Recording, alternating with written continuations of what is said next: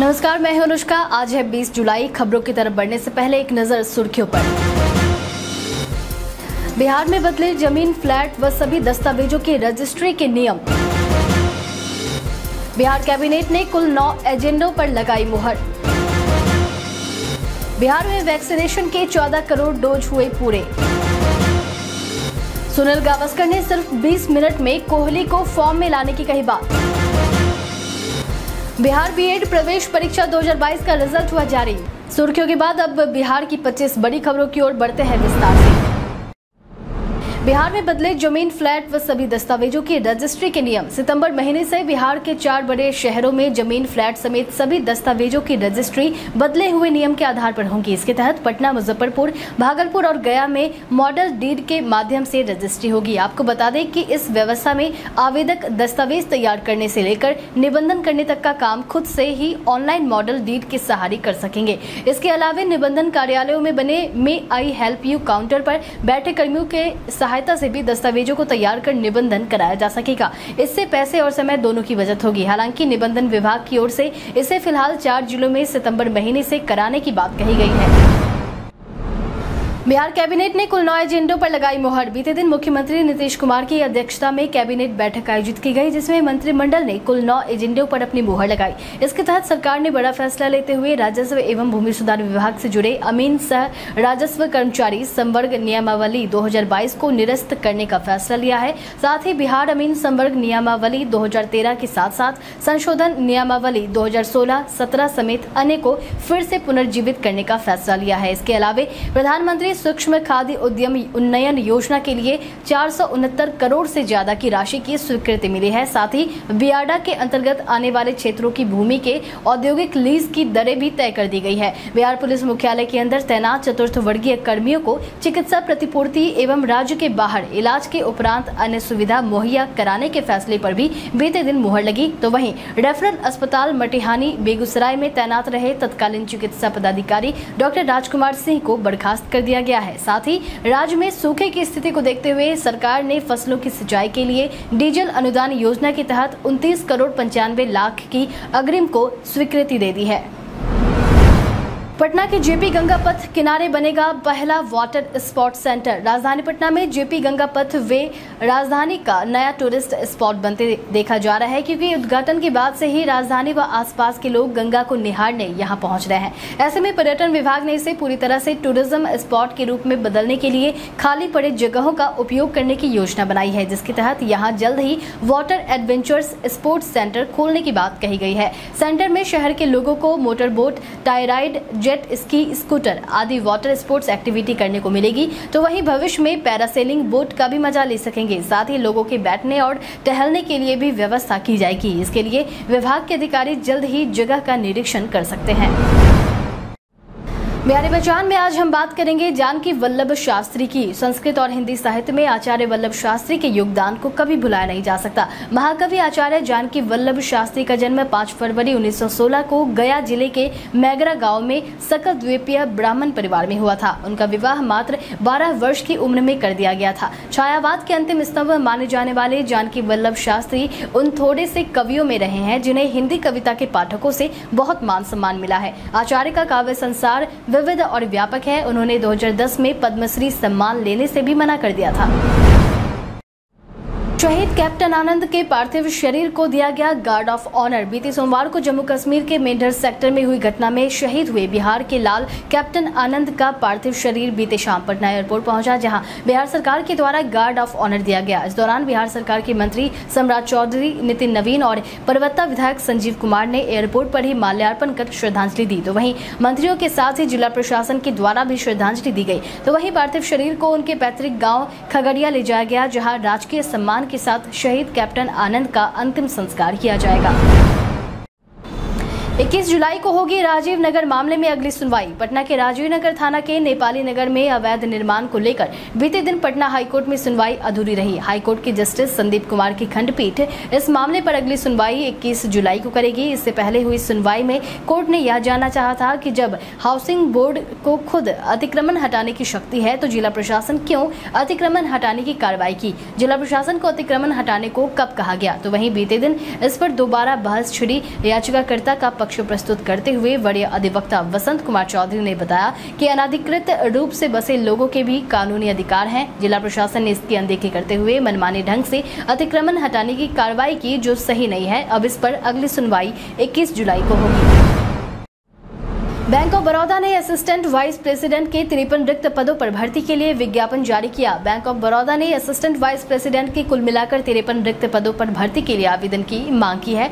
इन पदों के लिए अगर शैक्षणिक योग्यता की बात की जाए तो आवेदक के किसी भी संकाय में बैचलर डिग्री के साथ ही संबंधित क्षेत्र में तीन वर्षों का कार्य अनुभव होना ज़रूरी है। इच्छुक और योग्य उम्मीदवार इन पदों से जुड़ी हुई समस्त जानकारी और आवेदन करने के लिए इस वीडियो के इसी पेज पर नीचे डिस्क्रिप्शन बॉक्स में दिए गए वेब लिंक पर ज़रूर क्लिक करें। आवेदन करने की अंतिम तारीख 4 अगस्त 2022 तक है। विस्तृत जानकारी के लिए आप ऑफिशियल वेबसाइट डब्ल्यू पर जाकर चेक कर सकते हैं। बिहार बीएड प्रवेश परीक्षा 2022 का रिज़ल्ट हुआ जारी। बिहार बीएड एंट्रेंस एग्ज़ाम 2022 का रिज़ल्ट बीते देर शाम जारी कर दिया गया। इस बार संतानवे अंक लाकर समस्तीपुर के महथी के रहने वाले जयशंकर कुमार ने ओवरऑल टॉप किया। तो वहीं लड़कियों के वर्ग में मधेपुरा की रहने वाली रूपाली कुमारी ने पहला स्थान पाया है। रूपाली ने तिरानवे अंक लाया। इस क्रम में बीते दिन परीक्षा के नोडल यूनिवर्सिटी एलएनएमयू के कुलपति प्रोफेसर एस पी सिंह ने सभी टॉपरों को फ़ोन करके बधाई दी। बताते चले की रिज़ल्ट महज आज पंद्रह दिनों के अंदर ही जारी कर दिया गया। आपको बता दें कि आंकड़ों के अनुसार इस प्रवेश परीक्षा के लिए कुल एक लाख इक्यानवे हज़ार छह सौ उनचास अभ्यर्थियों ने आवेदन किया था। इनमें से एक लाख अड़सठ हज़ार तीन सौ बेरासी परीक्षार्थी परीक्षा में शामिल हुए थे। कुल एक लाख सैतालीस हज़ार पाँच सौ पच्चीस अभ्यर्थी परीक्षा में सफल घोषित किए गए हैं। हालाँकि सीट केवल तैतीस हज़ार के आसपास ही है। इंजीनियरिंग कॉलेजों में बढ़ेगी सीटों की संख्या। बिहार में इंजीनियरिंग की पढ़ाई करने वाले छात्रों के लिए बिहार सरकार ने खुशखबरी दी है। आपको बता दें कि बिहार सरकार ने बिहार के इंजीनियरिंग कॉलेजों में सीटें बढ़ाने का फैसला किया है। युवाओं में इंजीनियरिंग को लेकर बढ़ती दिलचस्पी को देखते हुए बिहार सरकार ने सभी अड़तीस इंजीनियरिंग कॉलेजों में दस से बारह प्रतिशत सीटें बढ़ाने की तैयारी कर रही है। तो वही इन सीटों पर कुछ नए विषय की भी पढ़ाई शुरू होगी। इस पर एकेडमिक कमेटी जल्द ही फैसला लेगा। आपको बता दें कि राज्य सरकार के स्तर से इंजीनियरिंग कॉलेजों और पॉलिटेक्निक पॉलिटेक्निक संस्थानों में पढ़ाई में सुधार लाने के मकसद से यह कदम उठाया जा रहा है। बिहार में वैक्सीनेशन के 14 करोड़ डोज हुए पूरे। कोरोना के खिलाफ जंग के बीच बिहार ने बड़ा रिकॉर्ड दर्ज कर लिया है। यह रिकॉर्ड है वैक्सीनेशन का। जी हाँ, बिहार में बीते दिन कोरोना रोधी टीकाकरण के तीनों डोज मिलाकर 14 करोड़ का आंकड़ा पार हो गया है। इसे स्वास्थ्य मंत्री मंगल पांडे ने बड़ी उपलब्धि बताते हुए बधाई दी है। मंगल पांडे ने कहा की यह उपलब्धि प्रधानमंत्री नरेंद्र मोदी और बिहार के मुख्यमंत्री नीतीश कुमार के कुशल नेतृत्व और राज्य की जनता के सहयोग से बिहार ने इस लक्ष्य को प्राप्त किया है। संपूर्ण राज्यवासियों को टीका टीकाकरण में सहयोग के लिए हृदय से आभार। गैर निबंधित प्रोजेक्ट की दीजिए जानकारी और पाइए इनाम। बिहार में कई ऐसे प्रोजेक्ट का संचालन हो रहा है जो कि गैर निबंधित है और रेरा से निबंधन के लिए बिना अपार्टमेंट और टाउनशिप बसा रहे हैं। ऐसे में रेरा अब ऐसे बिल्डरों पर नकेल कसने जा रही है जो बिना निबंधन टाउनशिप या फिर अपार्टमेंट को बसा रहे हैं। रेरा ने इसके लिए नई तरकीब निकाली है और यह ऐलान किया है कि गैर निबंधित प्रोजेक्ट के बारे में जो भी जानकारी देगा, उसे बम्पर इनाम दिया जाएगा। साथ ही सूचना देने वालों को गुप्त भी रखा जाएगा। इसकी शिकायत आप RERA dot report project at the rate gmail dot com पर मेल करके दे सकते हैं। अगर आपकी सूचना सही हुई तो आप दस हज़ार रुपए पाने के हकदार होंगे। अगर एक ही प्रोजेक्ट पर एक से अधिक लोगों ने शिकायत किया तो जो पहला शिकायतकर्ता होगा उन्हें इनाम की राशि दी जाएगी। प्रदेश के इन जिलों में बारिश के आसार तेज गर्मी से हैं। लोग परेशान। बिहार में इन दिनों लोग तेज धूप और उमस भरी गर्मी से परेशान है। तो वहीं दूसरी तरफ़ किसानों पर भी इस मानसून का असर दिखने लगा है। खास करके इस दौरान धान की रोपाई का समय है और आसमान से बारिश नहीं हो रही है। मौसम विभाग की तरफ़ से जारी अपडेट के अनुसार यह बताया जा रहा है की मानसूनी रेखा उत्तर की ओर शिफ्ट हो रही है, जिसके कारण यह कहा जा रहा है की आने वाले दिनों में मानसून सक्रिय हो सकता है। इस दौरान पड़ रही गर्मी से लोगों को राहत मिल सकती है। इधर पूसा के के वैज्ञानिकों ने दावा किया है कि पूर्वी और पश्चिमी चंपारण व तराई के इलाकों में कुछ स्थानों पर बारिश हो सकती है। साथ ही मौसम विभाग पटना ने बताया है कि पश्चिमी चंपारण, पूर्वी चंपारण, गोपालगंज, सारण, सिवान, मुजफ्फरपुर, सीतामढ़ी, मधुबनी और किशनगंज में बारिश होने की संभावना जताई गई है। बिहार से बस के ज़रिए यूपी और ओडिशा जाना होगा और भी आसान। पड़ोसी राज्य उत्तर प्रदेश और ओडिशा के अलग अलग रूटों के लिए बिहार से जल्द ही नई बसें खुलेंगी। इसके तहत 28 नए रूटों के ज़रिए बस चलाए जाएँगे।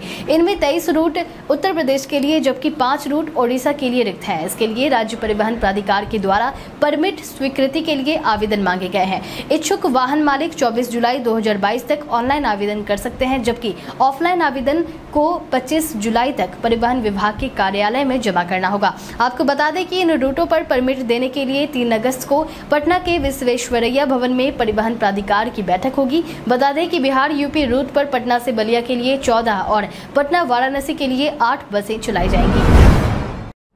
पूर्वी चंपारण के केसरिया स्तूप में आपको देखने को मिलेगा बहुत कुछ खास। चंपारण स्थित केसरिया स्तूप, जो विश्व के सबसे बड़े प्राचीन बौद्ध स्तूप के नाम से प्रसिद्ध है। केसरिया स्तूप एक प्राचीन धरोहर है। जानकारी के मुताबिक इस स्तूप को सम्राट अशोक महान ने बनवाया था। इतिहास और कला में दिलचस्पी रखने वालों के लिए यह एक बेहद ही खास स्थल है। यह विशाल स्तूप तीसरी शताब्दी से ताल्लुकात रखता है। इस प्राचीन स्थल को पुरातत्विक सर्वेक्षण विभाग के ओर से उन्नीस में खोजा गया था। बरौनी में जल्द शुरू होगा यूरिया खाद कारखाना। बिहार के औद्योगिक नगरी बेगूसराय ज़िले में स्थित बरौनी में जल्द ही यूरिया खाद कारखाना शुरू हो जाएगा। संभावना है कि अगस्त में यह फैक्ट्री शुरू हो जाएगी। इस बात की जानकारी बीते दिन बिहार के पूर्व उप मुख्यमंत्री और राज्यसभा सांसद सुशील कुमार मोदी ने मानसून सत्र के दौरान एक प्रश्न के जवाब में दिया। राज्यसभा में उन्होंने कहा कि केंद्रीय रसायन एवं उर्वरक राज्य मंत्री भगवंत खुबा ने बताया कि बिहार के बरौनी में स्थापित हो रहे यूरिया खाद कारखाने की कुल लागत आठ हज़ार तीन सौ अठासी करोड़ रुपए है, जिसमें से 75 प्रतिशत व्यय हो चुका है और अगस्त 2022 तक कारखाना प्रारंभ होने की संभावना है। बायोमेट्रिक मशीन से लैस होगी सहकारिता विभाग। बिहार सरकार की सहकारिता विभाग अपने एक सौ छप्पन कार्यालयों को बायोमेट्रिक मशीन से लैस करने जा रही है। इन कार्यालयों में अब कर्मी बायोमेट्रिक के माध्यम से अपनी उपस्थिति दर्ज करेंगे। सरकार ने बायोमेट्रिक मशीन की खरीद के लिए 33 लाख रुपए की स्वीकृति दे दी है। स्वीकृति मिलने के बाद सहकारिता विभाग के सभी कार्यालयों में बायोमेट्रिक मशीन लगाने की प्रक्रिया शुरू हो जाएगी। हालाँकि कोरोना संक्रमण के मद्देनजर राज्य के सभी सरकारी कार्यालयों में सोलह अगस्त तक बायोमेट्रिक बायोमेट्रिक हाजिरी बनाने पर रोक लगी हुई है, लेकिन इस अवधि में मशीन लगाने का काम हो सकेगा। अगले महीने होगी तेज प्रताप और ऐश्वर्या के तलाक की सुनवाई। राजद सुप्रीमो लालू प्रसाद यादव के बड़े बेटे तेज प्रताप यादव और उनकी बहू ऐश्वर्या राय की तलाक से जुड़े मामले में बीते दिन हाईकोर्ट में अहम सुनवाई हुई। बीते दिन जस्टिस आशुतोष कुमार सिंह और जस्टिस जितेंद्र कुमार की खंडपीठ ने इस अपील पर सुनवाई की। मालूम हो कि पिछली सुनवाई में पटना हाईकोर्ट ने दोनों पक्षों के अधिवक्ताओं से यह बताने को कहा था कि क्या दोनों पक्षों में सुलह की संभावना है। इस पर दोनों पक्षों के कोर्ट ने जवाब देने को कहा था। तो वहीं बीते दिन एक बार फिर से इस मुद्दे पर बहस शुरू, लेकिन अंजाम तक नहीं पहुँची है। अब इस मामले पर कोर्ट की सुनवाई अगले महीने 18 अगस्त को होगी। संजय जायसवाल ने तेजस्वी यादव पर किया पलटवार। तेजस्वी यादव ने हाल ही में केंद्रीय मंत्री नित्यानंद राय को लेकर कहा था कि उन्होंने आरजेडी में शामिल होने के लिए अपनी इच्छा ज़ाहिर की थी। वहीं अब तेजस्वी के बयान पर भाजपा ने पलटवार किया है। बीते दिन बिहार भाजपा अध्यक्ष संजय जायसवाल ने तेजस्वी की एक बार फ़्लाइट में गृह राज्य मंत्री नित्यानंद राय से मुलाकात होने की बात कही थी। घोटालों में लिप्त परिवार को जेल जाने से बचाने के लिए तेजस्वी भाजपा को समर्थन देने के लिए तैयार थे। डॉक्टर संजय ने कहा कि हज़ारों करोड़ के घोटाले करने वाली पारिवारिक पार्टी का समर्थन लेने के लिए बीजेपी तैयार नहीं हुई है तो वहीं उन्होंने लालू परिवार पर तंज कसते हुए कहा कि लालू परिवार कितने भी विधायकों की शरण क्यों न ले ले, जेल तो जाना ही पड़ेगा। जनतांत्रिक विकास पार्टी ने आरक्षण हिस्सेदारी रथ को किया रवाना। बिहार के लोगों को आरक्षण का महत्व बताने के उद्देश्य से बीते दिन जनतांत्रिक विकास पार्टी की सुप्रीमो अनिल कुमार ने आरक्षण हिस्सेदारी रथ को पटना के महाराजा कामेश्वर कॉम्प्लेक्स के पास से हरी झंडी दिखाई, जिसके बाद अब ये रथ बिहार के अलग अलग हिस्सों में भ्रमण करके आरक्षण के महत्व को लोगों को समझाएगी। इस दौरान पार्टी सुप्रीमो अनिल कुमार ने बताया कि देश बाबा साहब के संविधान के हिसाब से चलेगा। जो लोग देश में आरक्षण खत्म करने की कोशिश कर रहे हैं। उनके खिलाफ 26 जुलाई को पटना के श्री कृष्ण मेमोरियल सभागार में आरक्षण हिस्सेदारी सम्मेलन किया जाएगा। आज जिस रथ को आरक्षण हिस्सेदारी के लिए रवाना किया गया है, उन्होंने इस दौरान केंद्र सरकार पर भी आरक्षण और बेरोजगारी को लेकर निशाना साधा।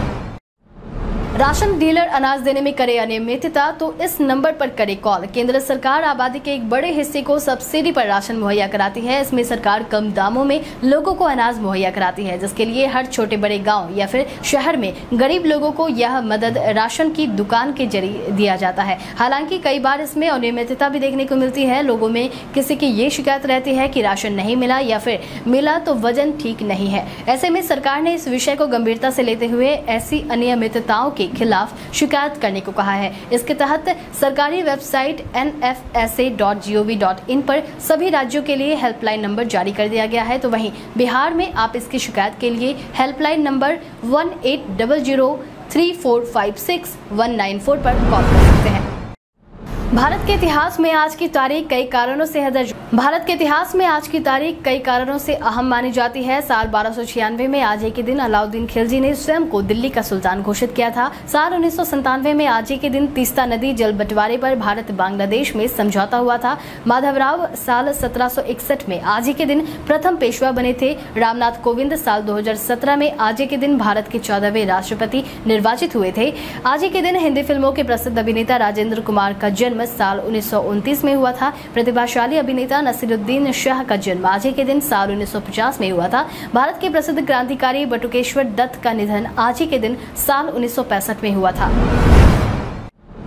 सुनील गावस्कर ने सिर्फ़ 20 मिनट में कोहली को फॉर्म में लाने की कही बात। विराट कोहली के खराब फॉर्म को प्रतिक्रियाओं की बाढ़ है। तो वहीं इस बीच भारतीय टीम के पूर्व कप्तान और महान बल्लेबाज सुनील गावस्कर ने कोहली के फॉर्म को लेकर बड़ी प्रतिक्रिया दी है। महान बल्लेबाज गावस्कर ने कहा है कि अगर उन्हें विराट कोहली से सिर्फ़ 20 मिनट बात करने का मौका मिले तो वो इनकी काफ़ी मदद कर सकते हैं। इंग्लैंड के खिलाफ तीसरे वनडे मैच के बाद इंडिया टुडे पर बात करते हुए सुनील गावस्कर ने विराट कोहली के खराब फॉर्म को लेकर बड़ा बयान दिया। उन्होंने कहा कि अगर मुझे उनके साथ 20 मिनट की बातचीत का मौका मिले तो मैं उन्हें बता सकता हूँ कि क्या करने की ज़रूरत है। इससे शायद उन्हें फ़ायदा होगा। मैं ये नहीं कह रहा कि इससे उन्हें फ़ायदा होगा ही, लेकिन शायद हो सकता है। खासकर उनके ऑफ़ स्टम्प लाइन की कमज़ोरी को देखते हुए मुझे उम्मीद है। फ़िल्म निर्माता अविनाश दास को पुलिस ने किया गिरफ़्तार। बिहार के दरभंगा से निकलकर पत्रकारिता व फ़िल्म जगत में अपना नाम बनाने वाले अविनाश दास को पुलिस ने गिरफ़्तार कर लिया है। गिरफ्तारी का कारण यह है कि उन्होंने हाल ही में अकूत संपत्ति मामले में रडार पड़ाई आईएएस पूजा सिंघल की एक तस्वीर ट्विटर पर साझा की, जिसमें वह अमित शाह के साथ नज़र आ रही है। इसके अलावा उन पर राष्ट्रध्वज के अपमान का भी आरोप लगा है। बताते चले की गुजरात पुलिस की अहमदाबाद अपराध शाखा ने दास के खिलाफ आईपीसी की धारा चार उनहत्तर के साथ साथ राष्ट्रीय सम्मान के अपमान की रोकथाम अधिनियम और आईटी एक्ट के प्रावधानों के तहत प्राथमिकी दर्ज की थी।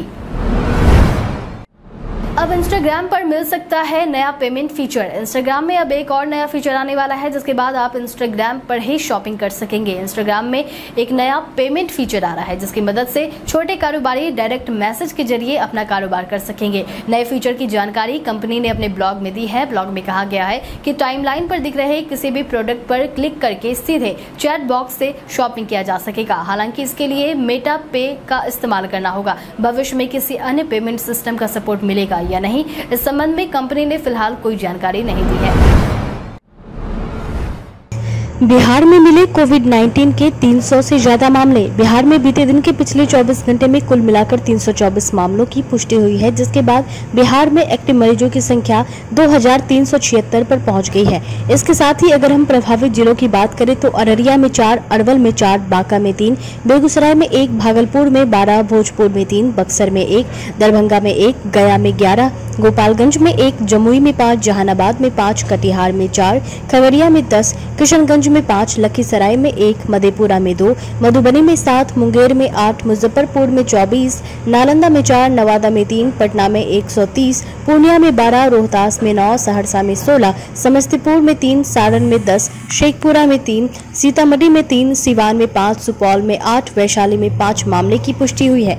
इसके अलावा एक ऐसे मरीज़ की रिपोर्ट भी पॉजिटिव आई है जो दूसरे राज्य के हैं, लेकिन उनके सैंपल बिहार के अलग अलग जिलों में कलेक्ट किए गए हैं। इसके साथ ही बीते दिन के पिछले 24 घंटे में कुल मिलाकर एक लाख तीस हज़ार चार सौ तिहत्तर सैंपल की जाँच की गई। इस दौरान 548 मरीज़ ठीक होकर घर वापस लौटे हैं।